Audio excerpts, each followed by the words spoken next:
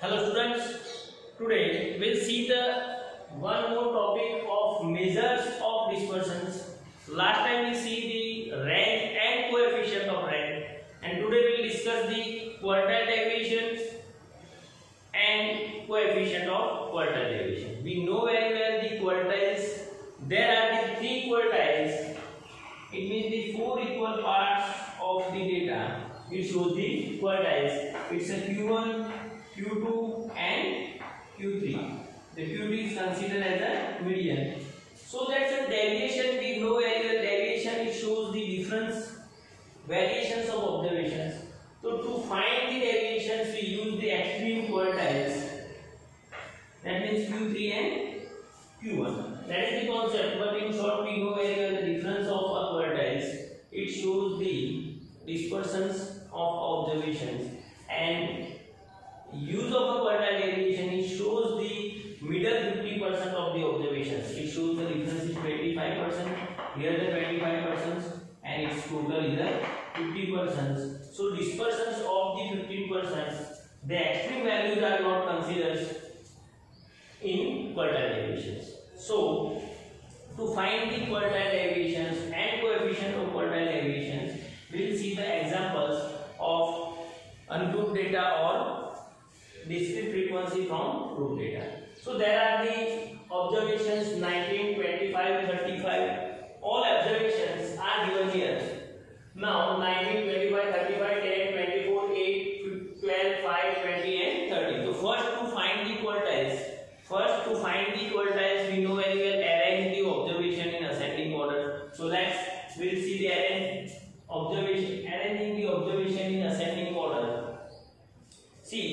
The first lowest value is 19, 25, 35, 10, 8, 24, 8, 12 and 5. Okay. So first one digit, there are the two digit, two numbers having only one digit. So the 5 and 8 and the smallest number of two digit is 10. We know very well 8, then 8, 10. Now the next see the 12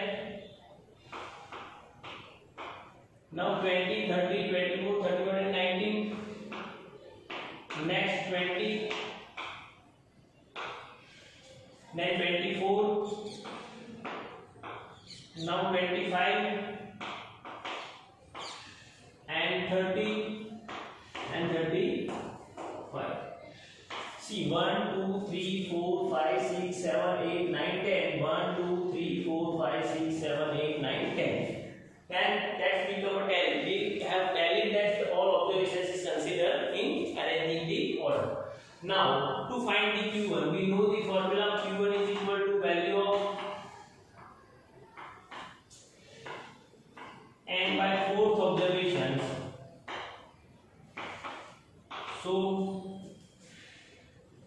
1, 2, 3, 4, 5, 6, 7, 8, 9 or 10 n plus 1 n plus 1 by fourth observations.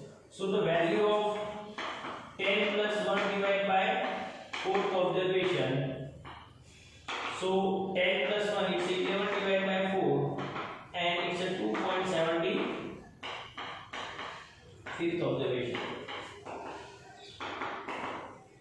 Now to find the 2.75th observations, to find the 2.75th observations, first, second, third, and fourth. That's between two and three. Between two and three. If you know the formula, that's 2.75. So 2.75 that means the second observation. Second observation plus 0.75. Third observation minus second observation. So second observation is 8. Second observation is 8 plus 0.75 into bracket third observation 1, 2 and 3. The third observation is 10 minus second observation is 8. So 8 plus 0.75 into 10 minus 8, 2.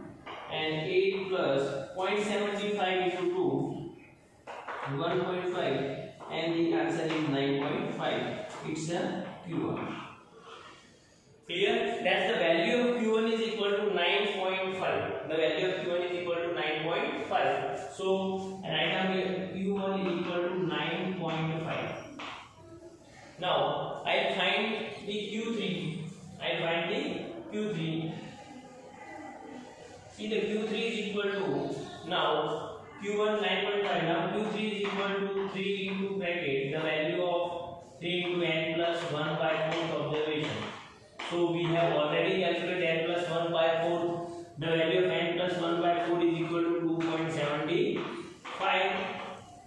So 3 into 2.75. 3 into 2.75 is 8.25 observation. That's 8.25. 75 to the 2.25 or 3 to the 6. 6 plus 2. 8.25. So, so we have to find the 8.25 observation. 1, 2, 3, 4, 5, 6, 7, 8 or 9 ये दोनों के बीच में that is the value of Q3 so to find the 8.23 Q3 then 8th observation plus 0.25 ninth observation minus 8th observation so 8th observation is 1 2 3 4 5 6 7 8 8th observation is और ये 9th observation so 8th observation is 25 plus 0.25 ninth observation is 30 minus 25 so 25 plus 0.25 into bracket 30 minus 25 5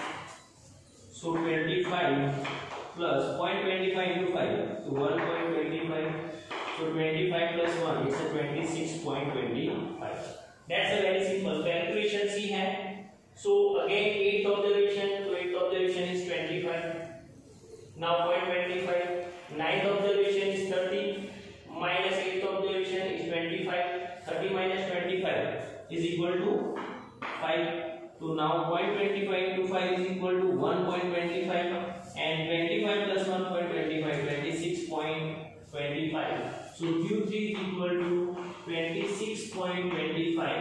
okay now we'll find the quartile deviation and coefficient of quartile deviation so the value of quartile deviation sorry formula quartile deviation QD is equal to Q3 minus Q1 divided by 2. So Q3 is equal to 26.25 sorry 26.25 minus Q1 9.5 divided by 2. So 26.25 minus 9.5 that's 16.75 divided by 2 8.375 That's the answer is 8.375 it's called QB. And now coefficient of quartile deviation. So coefficient coefficient of quartile deviation is equal to Q3 minus Q1 divided by Q3 plus Q1 is equal to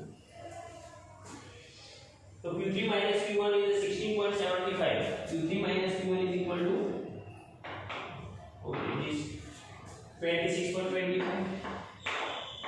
minus 9.5 divided by 26.25 plus 9.5 so 16 point 16.75 divided by 26 plus 9 26 plus 9 35 35.75 and so the coefficient of quartile deviation coefficient of quartile deviation. So the value of coefficient of quartile deviation is equal to 0.4685. 0.4685. So we can say this 0.47. That's a very simple बहुत easy है पर calculation है यहाँ पे तुम्हें first quartile find करने होंगे then तुम्हें quartile deviation and coefficient of current deviation. That's very simple. Now we'll see the one more example of discrete frequency distribution. See the one example of frequency distribution. Now, first we find the CF also that's xi or fi discrete frequency is there. that's a 3 plus 12 15 15 plus 18 that's a 33 plus 12 45 plus So n is equal to यानी कि submission n is equal to n is equal to 50. Now to find the first quartile, that's very simple. Q1 is equal to value of n plus 1 by fourth observation. यहाँ तो हमें direct answer मिलने वाला है. n is equal to 50 plus 1. One time ये कर लेते हैं. 50 plus 1 divided by 4. Then it's a 51 divided by 4.